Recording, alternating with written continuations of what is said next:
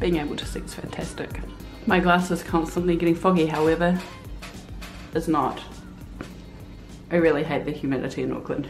Hey guys, today I'm going to sit down and have a cup of tea and a chat with you about how well my goals are going so far this year. In my previous goals update video, I mentioned that I wanted this to become a monthly feature on the blog, and that is because I figured that because I'd originally posted my goals for the year on my YouTube channel, that letting you know how they were going would be a great way of keeping myself accountable. You know what I meant to be doing. I know what I meant to be doing. And I may as well just share my goal journey with you guys. Goal number one save money. Philip and I are planning to travel to the Caribbean this year to visit his parents. They moved over there late last year and I think it's a good excuse for a holiday. The thing is, is that it's going to be expensive as all hell. I mentioned in my previous video that we were taking random trips to Kmart and Martha's backyard quite regularly. Those have stopped and our shopping bill has come down by a massive amount. It was actually embarrassing how much we were spending considering there's only two of us and so I've cut down the grocery bill by meal planning. Typically, we will have three different meals a week, and two of those will last multiple days. So there's shit ton of leftovers that gets used up, minimal wastage, and we're not spending as much as we used to. The sucky thing is, even though we've been cutting down the cost of unnecessary spending, we haven't actually saved any money. And that is because we've had to put the money that we would have saved for this trip elsewhere. And as sucky as that is, sometimes life happens and it just doesn't go the way you plan it to.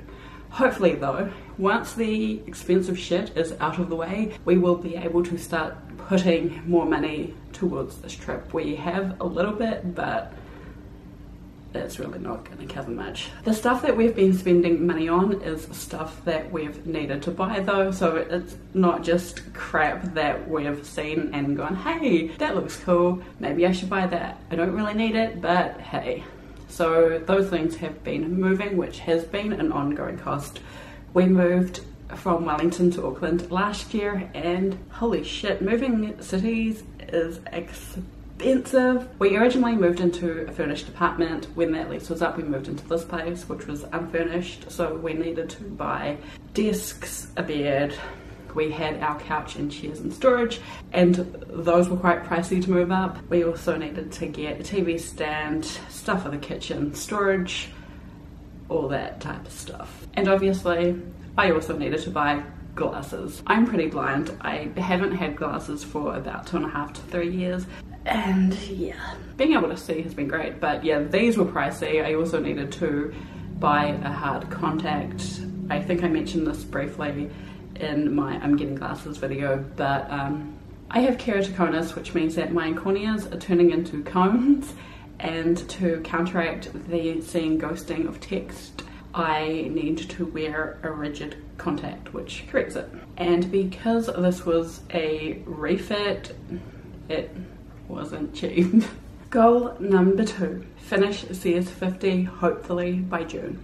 I'm going to put this straight out there. I haven't worked on CS50 stuff since I posted my last video. I still have my week two problem set to complete. There is a good reason for that. When I mentioned in my previous goals update video that I was starting to feel quite sick, I ended up with the flu and a sinus infection. I'm on antibiotics now. I'm still not feeling 100%. At the time, I did not want to spend a whole lot of brain power problem solving and coding. What I ended up doing was sleeping a lot, watching bad TV and documentaries on Netflix, and playing Zelda Breath of the Wild, which is an amazing game if you're wondering. Now that I'm feeling a bit better, I'm definitely going to start getting back into CS50 again. I'm not sure if I'm going to finish it in June, but that's fine. Goal number three post regularly on my website and YouTube channel. I definitely feel like this year I have been more onto it in terms of creating regular content. I seem to start every year really full on and motivated to make content and post on my blog and then I kind of plateau a few months into it. and I know why too. I start getting stuck in terms of ideas and go into creative blocks. I get depressed and anxious and just want to crawl into a shell and hide away from everything and not do stuff. And then there's a part of me that feels like what I make sucks. And you know what? Stuff those feelings. Lizard brain can get effed. This year, I'm making a conscious effort to push past each of those hurdles, and I'm not gonna lie, it's terrifying as all hell, but I feel like making myself push past creative blocks and working on something when I feel down and pushing past feelings of self doubt are going to be really good for me and the content that I make this year. And I feel like there's going to be more raw me sit down chatty kind of videos in the future. I have a few ideas up my sleeve and I'm nervous and really excited at the same time. Like I feel like I know now what direction this channel is going to go in. Goal number four read more. My Goodreads goal this year is to read five books, and that's embarrassingly low. I used to be an avid reader as a child, but after leaving school, I just kind of stopped reading, and I feel like it's killed my imagination a lot. Last year, I had set my Goodreads goal for 10 books, and I think I read a grand total of one, which is really embarrassing. This year, I have read two books I also took a book that I want to read out of the library, which I will get started on fairly shortly. And then after that, I will start reading Steal Like an Artist by Austin Kleon. I had heard quite a bit about Austin Kleon's book, but had put off reading it for quite a while. That was until I heard the episode of the Art of Charm podcast he was on with Jordan Harbinger. I will leave that in the description box below. It just really resonated with me and really got me inspired. One of the things that stood out to me was him talking about having an analog and a digital desk. I find that when I'm at my desk, I tend to get really distracted with the computer. So if I'm sitting there writing or proofreading a blog post, I'll just end up online and not doing what I was meant to be doing, which is why the Pomodoro technique that I talked about in my previous goals video is really helpful to me because it forces me to focus on one task.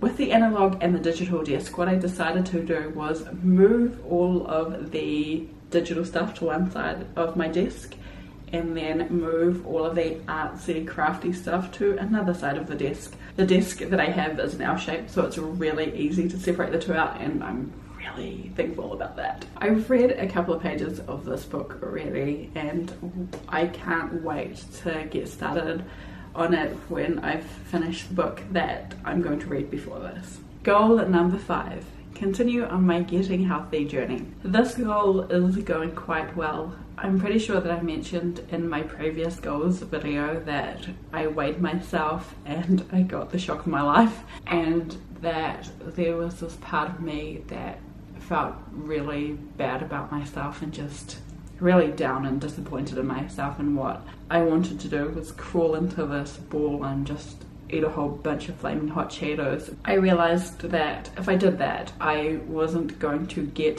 to where I want or need to be. And so I shut that voice down and I was just like, no, you know, you're not doing that. Like you're feeling bad about yourself, but that is going to make you feel a thousand times more shitty about yourself in the long run. And so did some journaling and made a whole bunch of realizations that have helped me put some small yet practical steps in place to make some life changes and it's been great. One of the realizations that I made was that I, well, I always knew I overate, but what I realized is that I eat emotionally, so I'll either eat when I'm down, when I'm stressed, when I'm bored, even when I'm happy. Like, I'm Polynesian. A celebration isn't a celebration without a crap ton of food, right? If you don't feel like you're going to explode afterwards and there isn't leftovers to take home, you haven't made enough food. And so what I decided to do was start another journal. I'm notorious for never finishing them, but I've almost finished this one and I'm super proud of that fact. My food, thought, and gratitude journal. And so in this journal, I list all the things I've eaten in a day. So breakfast, lunch, dinner, snacks, and any drinks I've consumed so I can keep a track of my fluid intake and I've had food journals before, and previously I've become quite obsessive about those food journals, and it got to the point where I was worrying about how much I was eating and whether or not I was eating bad food. This year, though, I've decided to not let that side of the brain win out when I start feeling like that. I just have to step aside and say, hey, you know what? Are you actually really hungry? Do you need this? Are you just thirsty? Have a drink, have a piece of fruit, go away for a bit, and come back in maybe half an hour. And if you're still hungry, then by all means, have something to eat. With the overeating thing as well, I've mentioned in previous videos that I pre pack snacks. That has been really helpful because it means I'm aware of exactly how much I'm eating, which is good. In terms of getting fitter, at the beginning of the year I started working out and when I got the flu obviously that kind of fell off a bit. Now that I'm feeling better, I'll definitely be getting started on that again. I was doing the Blogilates beginners workout. I'll leave a link for those workouts in the description box for anyone who would like to check them out. What Philip and I decided to do was do a week's worth of the total body workout just so that we could ease our bodies into the rest of the workout which I think is a pretty good idea. I can't wait to get started on those. I could definitely feel myself getting stronger while doing them. Like I could lift a cast iron pan and extra my arms and usually I can't lift one of those things with two arms. I'm also going to start going on lots of walks and I feel like it will be a great way of exploring Auckland and getting to know the city. In a couple of weeks we're going down to Waihi for the weekend and I know that there are quite a few walks down there and beaches. I'm really excited to go swimming and walking and then just getting out and active. Feeling good with the skin I'm in. Recently, I've been feeling really crap about my body. One of the things that got me down was obviously weighing myself. That was a huge shock that something needed to change. But the other thing was that I had so many clothes in my closet that didn't fit. And walking into a closet knowing most of the things can't fit you and that you look like an overstuffed sausage in them isn't helpful for your self esteem. What I ended up doing was taking everything out of my closet and then taking the stuff that doesn't fit right now, putting that into some luggage and